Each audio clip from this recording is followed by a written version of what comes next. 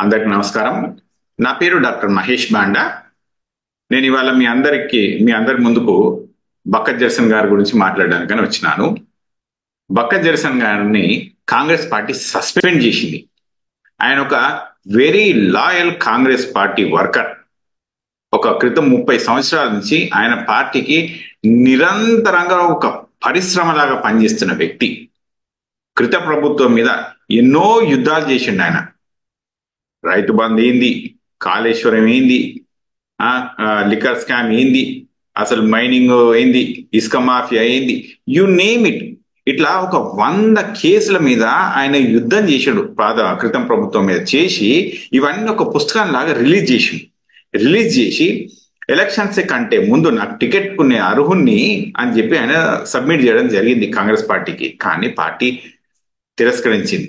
ఆయన ఆయన రిక్వెస్ట్ని తిరస్కరించింది. బట్ దట్స్ ఫైన్ అనుకుని స్పోర్టివ్గా తీసుకొని ఆయన మళ్ళా మొదలు పెట్టిండు. ఆయన ఆ పార్టీ కోసం ఏమేం చేయాలో అవన్నీ చేసుకుంటూ మొదలు పెడుతూనే ఉండు పెట్టిండు కంటిన్యూస్గా నడుస్తూనే ఉంది మీ అందరికి కొంతమందికి తెలియని విషయం ఒకటి చెప్తాను ఆయన గురించి.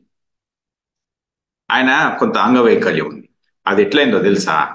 కాంగ్రెస్ పార్టీది ఒక సదస్సుకు పోయి వస్తా ఉంటే యాక్సిడెంట్ జరిగింది. భయంకరమైన యాక్సిడెంట్ జరిగింది. జరిగి నడు నుంచి కిందికి బాగా దెబ్బలు తిన్నాడు వ్యక్తి బాడీ అంతా.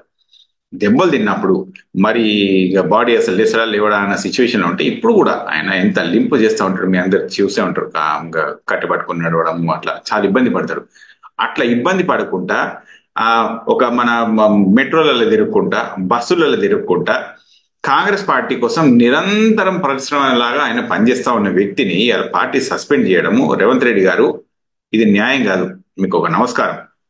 మీరు మీ స్థాయికి ఇది తగదు. అలాగే చిన్నారెడ్డి గారు మీరు ఒక డిసిషన్ మేకింగ్ పొజిషన్లో ఉన్నారు. కాంగ్రెస్ పార్టీలో కొట్లాటలు కొత్త కావు అని చెప్పి మీరు పెద్దలకు చెప్పగలగాలి రేవంత్ రెడ్డి గారికి చెప్పగలగాలి ఇంకా మిగతా ఎవరుంటే వాళ్ళందరూ చెప్పుకోగలగాలి. కాంగ్రెస్ పార్టీలో ఉన్నదే కదా డెమోక్రసీ అంటే. అసలు దానికే కదా దాని బలం అంతా కూడా ఇంకా మిగతా దేనికి కూడా అదంత బలం. కాంగ్రెస్ పార్టీలో ఒక క్రితం నూట ముప్పై సంవత్సరాల నుంచి డెమోక్రసీయే నడుస్తుంది. ఇంకేం నడిచినా నడవకుండా ఇలా చాలా తక్కువ రాష్ట్రాలలో కాంగ్రెస్ పార్టీ ఉంది. అయినా ఏమన్నా అయిందా ఎవరైనా భయపడుతుండ్రా? ఆ పార్టీకి బలం లేదని? ఎవ్వరు భయపడతారు అందరికి ఒకటే ముంచట. పార్టీకి మస్తు బలం ఉంది అది ఏ రోజైనా సరే it will come back to power ఇవాళ నాలుగు వందల సీట్లు కావాలి అనుకొని ఇంకా ఒక ప్రభుత్వం ఎంతో ఎంతో ప్రయత్నాలు చేస్తా ఉంది మాట్లాడుతూ ఉంది వాళ్ళందరికీ. అయినా భయపడుతుంది కాంగ్రెస్ కాంగ్రెస్ పార్టీ అంటే. ఎందుకు మరి? నాలుగు వందల సీట్లు వస్తాయన్నప్పుడు భయపడద్దు కదా. కానీ భయపడుతున్నారు వాళ్ళందరూ కూడా. ఎందుకు? ఎందుకు అంటే జెర్సన్ లాంటి వాళ్ళు ఒక ఐడియాలజీని పార్టీని నమ్మకంగా పట్టుకొని ఉన్న వాళ్ళు చాలా మంది ఉన్నారు ఈ భారతదేశంలో మొత్తంలో. కనీసంగా ఏ రోజునన్నా చూసుకోండి ఒక ఇరవై శాతం ఉంటుంది వాళ్ళకు ఒక ఓటు బ్యాంకు. అట్లా ఓటు బ్యాంక్ ఉన్నది కాబట్టి they can change they can topple anything ఏ రోజైనా ప్రభుత్వంలోకి వస్తారు అన్న నమ్మకం వాళ్ళకు ఉంటది ఎందుకంటే ఇంత శాతం జనాభా ఉంది ఇంత పార్టీకి లాయల్ వర్కర్ ఉన్నారు కాబట్టి. మరి అట్లాంటప్పుడు ఇంత లాయల్ వర్కర్స్ని మనము పార్టీ నుంచి సస్పెండ్ చేయడం ఎంతవరకు సమంజసం? ఒక చిన్న ఎగ్జాంపుల్ ఇంకోటి చెప్తాను నేను మీకు. ఎలక్షన్లకు ఇంకొక మూడు నాలుగు రోజుల ముందు కరెక్ట్ ఓటింగ్కి. అప్పుడు రైతు బంధు వేయడానికి ప్రభుత్వం ప్రయత్నం చేసింది. అది ఎలక్షన్స్ని మరి ఏమన్నా ఇన్ఫ్లుయెన్స్ చేస్తామో అన్న ఉద్దేశంతో నేను కొంతమంది ఎన్ఆర్ఐ సోదరులము ఏం చేసినాం అంటే బక్క జెర్సన్ గారికి ఫోన్ చేసినాం. మరి జెర్సన్ గారు మరి ఇది కరెక్ట్ కాదు కదా ఇది కరెక్ట్ అనిపిస్తలేదు మీరు ఒకసారి ఆలోచిస్తారా అంటే ఆయన ఆలోచించి అవును కరెక్టే ఇది కరెక్ట్ కాదని చెప్పి వెంటనే ఎలక్షన్ కమిషన్ దగ్గరికి వెళ్ళి కేసు ఫైల్ చేసిండు.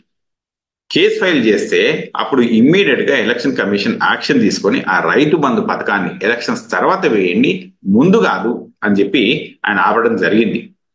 సో నేనేం చెప్పాలనుకుంటున్నా అంటే మరి ఇంత పార్టీ లాయర్ వర్కర్ని ఒక వంద కేసులతో పోరాడిన వ్యక్తిని కేసీఆర్ కుటుంబం మీద మొత్తం ఆయన కేసీఆర్ గారి పైన ఆయన కొడుకు కూతురు అల్లుడు ఇంకా యూ నేమ్ ఇట్ ఆ ప్రభుత్వ సంస్థలల్లో ఎన్నెన్ని అక్రమాలు జరిగినాయో ధరని కానీ కాళేశ్వరం కానీ ఆ రైతు బంధు పథకాలు కానీ అట్లాగే ఇసుక మాఫింగ్ మైనింగ్ ఇంకా యు నేమ్ ఇట్ ఇంత ఇంత అన్యాయాలు జరుగుతున్నప్పుడు అవన్నిటి మీద పోరాటం చేసిన బక్క జెర్సన్ గారిని మనం పార్టీ నుంచి సస్పెండ్ చేసుకొని మనం ఏం సాధిస్తాం అనుకొని అనుకుంటారో నాకైతే అర్థం కాదు.